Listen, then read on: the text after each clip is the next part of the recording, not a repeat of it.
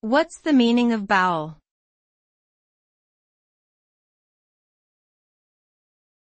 Bowel.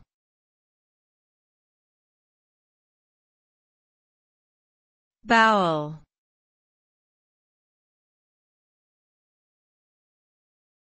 Bowel.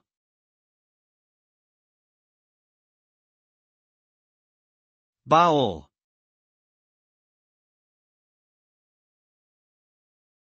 The term bowel refers to the long and winding tube-like structure that starts at the stomach and ends at the anus, and is responsible for the movement and elimination of waste matter from the body. The bowel plays a critical role in digestion and absorption of nutrients, as well as the regulation of fluid and electrolyte balance. When the bowel is functioning normally, waste material is transported through in a timely manner and eliminated regularly. However, when the bowel becomes obstructed or inflamed, it can lead to a wide range of symptoms, including abdominal pain, bloating, constipation, and diarrhea.